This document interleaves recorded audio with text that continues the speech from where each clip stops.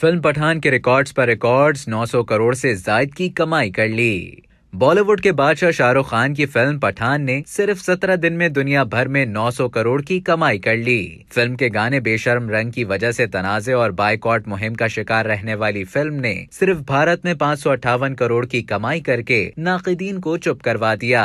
Global box office पर पठान की कमाई 900 करोड़ से जायद हो गई है। इस हवाले से यशराज फिल्म्स ने प्रेस रिलीज़ भी जारी की। यशराज फिल्म्स के मुताबिक सिद्धार्थ आनंद की हिदायतकारी में बनने वाली फ़िल्म ने अपनी रिलीज़ के तीसरे जुम्मे को भारत में पाँच अशारिया नब्बे करोड़ का बिज़नेस किया। इस तरह पठान हिंदी सिनेमा की तारीख में दुनिया भर में सबसे ज़्यादा कमाई करने वाली हिंदी फ़िल्म बन गई। इस एक्शन थ्रिलर फ़िल्म में शाहरुख खान नामालूम दहशत गर्द ग्रुप को भारत पर हमला करने से रोकते हैं। फ़िल्म में दीपिका पडुकोन जॉन इब्राहम डिम्पल कपाड़िया, आशुतोष राणा समेत दीगर ने अदाकारी के जौहर दिखाए। फ़िल्म ने भारत में पाँच सौ अट्ठावन अशारिया चालीस करोड़, जबकि बैरून मुल्क तीन सौ बयालीस अशारिया साठ करोड़, यानी मजमुई तौर पर नौ 101 करोड़ का बिज़नेस कर लिया है। अब तक के लिए इतना ही मजीद खबरों और न्यूज़ अपडेट्स के लिए डेली जंग के यूट्यूब चैनल को सब्सक्राइब करें और फेसबुक के पेज को लाइक करना ना भूलें।